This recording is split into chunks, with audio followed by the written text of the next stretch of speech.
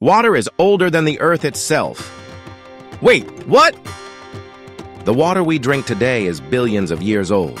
Scientists believe some of it came from ancient asteroids and comets that bombarded Earth during its early formation. Earth has a closed water system. The water on Earth never disappears. It just changes form.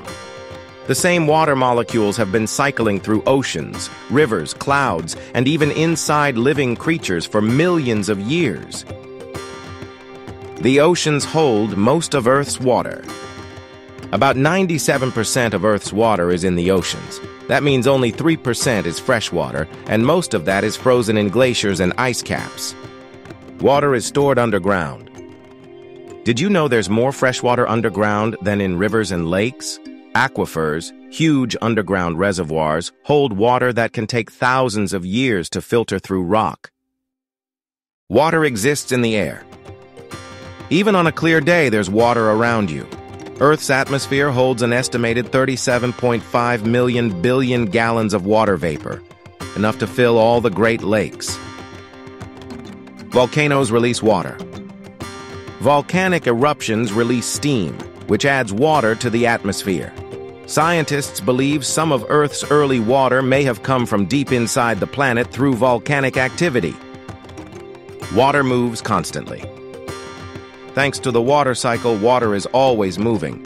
It evaporates from oceans, forms clouds, falls as rain, and flows through rivers, before returning to the sea and starting all over again. Water can travel through rocks. Some water sinks deep into the ground and flows through tiny cracks in rocks. This fossil water has been trapped underground for thousands or even millions of years. Earth's water shapes the planet. Water is powerful. Rivers carve out valleys, waves shape coastlines, and glaciers grind down mountains. Over time, water has helped create the landscapes we see today.